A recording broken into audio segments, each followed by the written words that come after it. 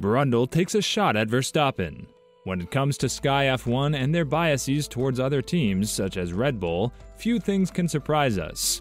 One of these things is the way they have handled the 2021 finale, and that is something the streaming service spoke about through one of their interviewers, Ted Kravitz.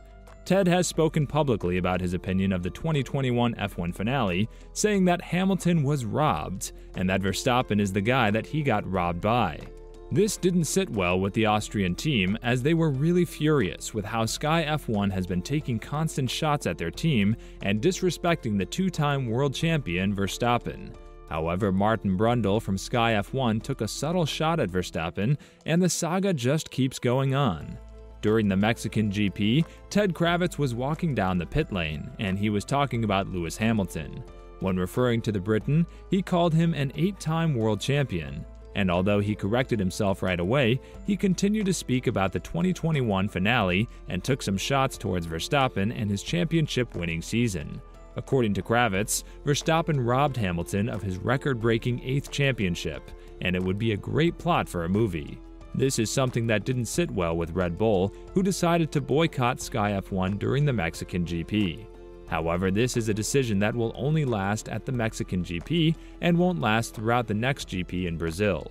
Horner said that this is something they wanted to do because they wanted to show the F1 world that they are a team with their own integrity and that nobody could go through them and take cheap shots like that.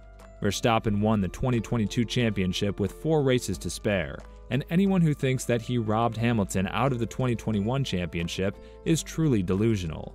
When talking about this manner, Horner said, We were obviously disappointed with a series of derogatory comments that have been made on Sky, so we felt that this weekend we'd just take a break, and that it wouldn't do Sky any harm for us to take a break this weekend.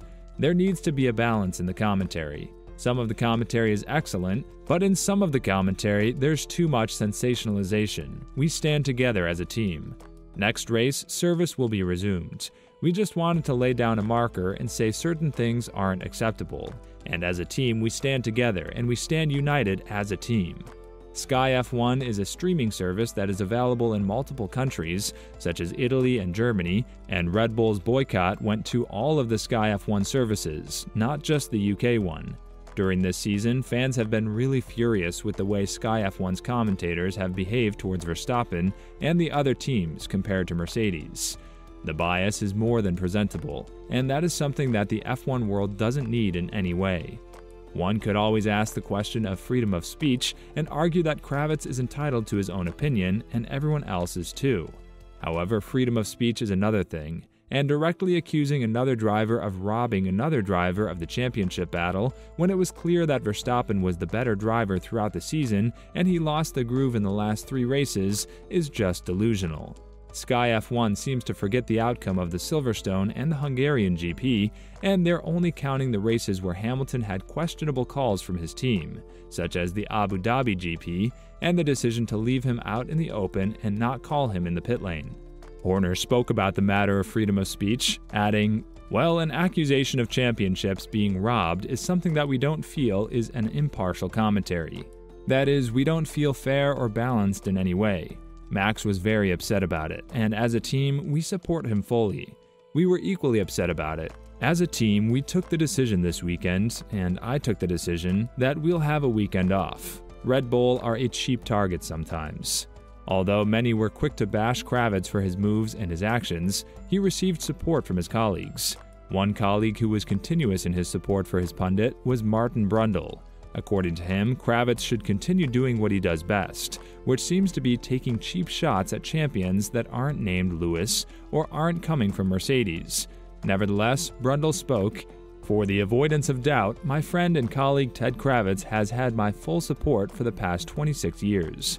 Face to face dialogue is the only way to sort out issues and settle disputes in the relentless crucible of the F1 paddock.